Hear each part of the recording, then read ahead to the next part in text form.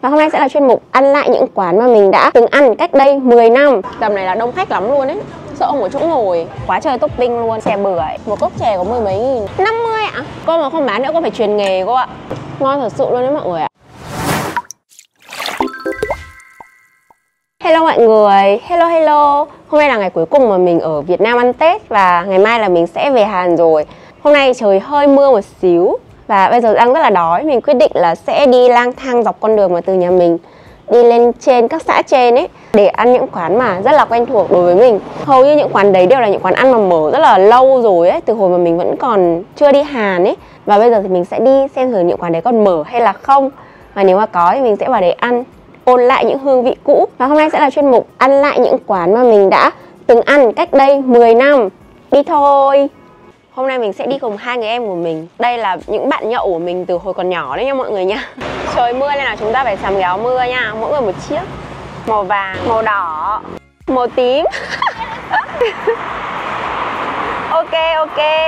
Thế này, em ra mang cho cô này. Ra bên này Miền rồi. Cháu xin ba cái thìa. À, Trời lạnh ăn cháo đúng ngon luôn. Nè, à đủ rồi hả? Ngon chưa? Cháo sườn mà có rất là nhiều sườn luôn sườn nhiều mà ta gọi là sườn cháo Nhưng mà sao tôi biết quán này? em Ờ. đi qua nhiều nhưng mà À thế á? Quán này với cả cô ở chợ luôn là một Một cái một cái Tiếng mưa rơi tõm tõm Quán cháo sườn này thì là ở Thủy Đường nha mọi người ơi Em ngon quá à. Thật đấy Ăn cháo sườn này nó khác hẳn cháo sườn Huyền nó nấu chị ăn nhá. Nó nấu sườn lên xong nó đổ cháo gỗ đỏ vào. Thành cháo sườn Ghê không? Nè Những miếng sườn miếng thịt ăn ngon. Vừa vặn không mặn không nhạt. Bình thường mà quán cháo sườn mà mình hay ăn ấy Thì là quán cháo sườn mà ở chỗ An Lưu Nhưng mà quán này với cả quán đấy là một. Đây là nhà, tuần kia là điểm bán ở chợ Ăn ở đây là lần đầu tiên ấy. Chỗ An Lưu đông lắm. Tầm này là đông khách lắm luôn ấy. Sợ không có chỗ ngồi. Đến đây thì thoáng ngộ chỗ hơn ấy. Mà kiểu ấy Ăn cháo sườn ấy Ăn cái cháy cháy của nó ấy. Ngon. Ngon nhỉ, chị ăn cháy cháo sườn. Mà cháo này nhiều sườn kinh khủng ấy. Nhỉ, nãy giờ ăn toàn sườn sườn sườn. Cháo sườn ăn với cả quẩy. Rất là ok la luôn. Bát to mà ăn sắp hết rồi. 20 nghìn một bát đúng không? Quán cháo của cô là đối diện Cường Nguyễn nha mọi người Ở Thủy Đường Thủy Đường Thúy Nguyên Hải Phòng. Còn nếu mà mọi người mà muốn ăn ở không khí chợ ấy, Thì mọi người có thể đến chợ An Lư. Thiên đường ăn uống. Ở đây có một quán mà ngày xưa mình hay ăn lắm Đó là quán chè. Quán chè này ở chợ núi đèo có tên là quán chè số 1 chợ núi đèo. Có cả sủi gìn nóng với chè đông. Có rất là nhiều món chè luôn. Ở đây có ghi là có cả sủi gìn nóng và chè đông nóng nữa. Chè đông nóng, không biết là mọi người đã ăn chè đông bao giờ chưa? Nó là một món chè khá là đặc biệt đấy. 12, 15 nghìn một cốc Chị ăn chè bưởi. Hai một chè bưởi một chè thập cẩm một chè ạ. Chè bơ hả? đúng. Đây. Ngày xưa hay ăn sữa chua nếp cẩm nhỉ? Chè ngô nè Nhiều món mà. Cái này là chè thập cẩm. Ngày xưa ăn chè được trong cốc nhỉ? Bây giờ là đa số là đều trong bát rồi. Và đây là cốc chè bơ 30 nghìn. Nhưng mà công nhận là ngon thật Nhìn ngon thật. Sời sời sời. Quá trời topping luôn. Nè. Rồi có cả bơ nè. Xin miếng nhá Huyền Ừ, ngon Ngon quá hả? Ngon thật. Ăn đi Tâm.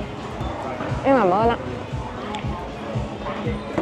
Cái đây là chè bưởi. Thật ra là cái hồi mà chị um, nhỏ nhỏ ấy Ở Thủy Đường có một quán chè gọi là chè Huế đúng không? ừ, ừ. Ừ, ở, ngon hồi đấy cũng có món chè bưởi cũng ngon. Lần đầu tiên mà chị ăn chè bưởi đã ăn ở quán đấy á còn đấy vẫn còn bố mẹ em vẫn đi. Đó Ngày xưa thích quán đấy tại vì quán đấy bán cả buổi tối ấy. Tối thì chợ đóng cửa mà nên là tối hay lên để ăn chè. Ui, chè bưởi này. Ngon mà. Vẫn ngon. Kiểu của Huyền nó không có bị ngọt quá. Em ăn không ta? Biết. Ngon mà. Bình thường thì Huyền thích ăn thập cẩm nhất. Nhưng mà tại vì hầu như lúc nào cũng ăn thập cẩm. Nên là hôm nay mới gọi chè bơ. Một cốc chè có mười mấy nghìn. Chợ núi đèo một ngày mưa. Rất là mưa. Mưa phùn nha mọi người. Ngày mưa đi ăn rất là chill nha mọi người nha. Tâm ở phía sau. Sời sời sời. Áo mưa ở mày nó phất phất phất phất ở trước mặt đấy.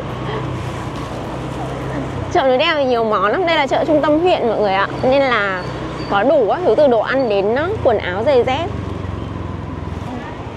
Ăn những cái quả mà đấy quả nhãn quả chôm chôm quả vú sữa đây nè mấy quả này nè. Mận nè huyền ơi. Ôi chôm chôm ba tiền một cân ạ. 50 ạ. Cái này hai cân tu là trăm hai. Trăm hai. Một hôm nay là nửa cân hả? ừ. mua không chị? Mua cho. Đúng á. Mua đi mua đi. Cô ơi táo này ba tiền cân cô. Táo hai à? vâng. Bốn nghìn. Ăn này hả thế thôi mua hai cái này nhá. thôi trả lấy hai cái này đã ạ là bao nhiêu ta? 120 với cả 60 là 180 đây ạ. Đi ta tan đã về đến nhà. Mình về nghỉ ngơi một xíu mọi người ạ để tiếp tục cái cuộc hành trình ăn uống lát nữa. Sắp đến giờ bay rồi mà vẫn còn rất là rừng rưng nha. Đây là chôm chôm chôm chôm đầu mùa ấy. Ăn đi không mai sang hàn rồi sẽ tìm mua nó khó ấy. Ta tan trời ơi, căng mọng chưa giá mà có thời gian là cũng đi vào trong miền Nam nhỉ đi food tour. Chôm chôm ngọt lắm mấy đứa. Đây là dâu tây em mình mua à? Cam thích ăn dâu tây à? Nè Sờ sờ sờ sờ. Cũng ok la mà. Quả này to hơn cái quả hôm trước chị mua. Đi ăn còn nhớ mang sủi dìn về cho mẹ ấy. Đây nấu nóng được con chè đông. Đây là chè đông Quên mất. Sủi dìn lúc đấy người ta bỏ hết. Với cả bọn con cũng định tối đi ăn sủi dìn mà Tối mới đi ăn á, thế bây giờ mới đi? Bọn con định vừa đi ăn rồi Nhưng mà tại no quá Thế về nghỉ một tí xong đi ăn tiếp. Mẹ đi cùng. Mẹ đi không? Có. Có. Ăn này tí nữa có thật nữa Ăn được chứ? Chè đông ngày xưa chè đông bán ngạn làm ấy. Thì Linh ăn không thì Ngon. Linh. Mời cả nhà ăn chè đông nhá. Mẹ ăn nóng đi. tôi không ăn. Ngon lắm. Thơm mùi dầu chuối nhở? Nó ngọt vừa. Nhỏ nhỏ Lại có cái nạc này. Chuối này, đường đen này Đỗ đen này Nạc này Dừa này.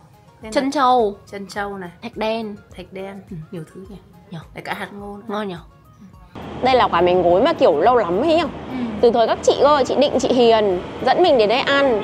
Xong đến thời của mình dẫn bạn mình đến ăn. Xong đến thời em mình. Đến rồi đến rồi. Chào xin. Mười mấy năm rồi chị mới ăn lại ấy. Mười năm. Cô bán được bao nhiêu năm rồi cô nhở? Hai mấy năm rồi cô? Đó Cháu đi nước ngoài 10, gần 10 năm. Bây giờ cháu mới được ăn lại. Quán là hai mấy năm rồi Vâng. Trước bọn cháu đi học ấy Xong ngày nào đi về đây Có tiền là phi vào đây ăn bánh gối luôn. Đợt đấy có định bỏ ra rồi Không Sao bỏ cô?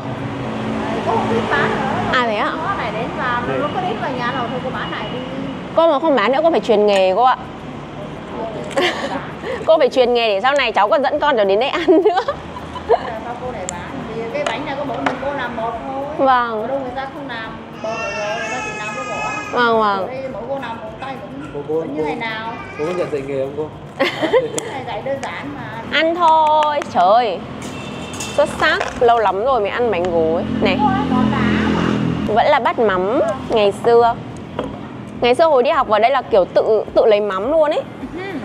Không phải tự phục vụ. Vâng cô nhỉ? Mời mọi người ăn nha. Rồi Ngọt hết Trời. Nhớ hồi trước có ít tiền là đạp xe đạp bên đây ăn cô là sướng lắm ấy. Đúng rồi, bây giờ thì rộng hơn rồi cô nhỉ? Cháu mấy lần về là cháu cũng hỏi mọi người là bánh gối Trung Hà còn mở không? Nhưng mà mấy năm trước là cô đóng cửa đúng không? Lần này cháu hỏi lại mọi người bảo là có bán. Cô bán lại rồi. Nhưng mà mắm vẫn như thế nhỉ? Hương vị không có gì thay đổi luôn ấy. Đúng kiểu hương vị tuổi thơ ấy. Ngon thật sự luôn đấy mọi người ạ. Vẫn như ngày xưa cô ạ. Ngon thật. Bán này hơn cả con Bánh gối kiểu nó vẫn giòn như thế nhỉ? Xong, Đã ăn hết. Ăn hết 8 cái rồi. Cô cháu gửi tiền thì thôi, Cháu cảm ơn cô. Nhưng cháu về đấy ạ. Thôi, đi rồi.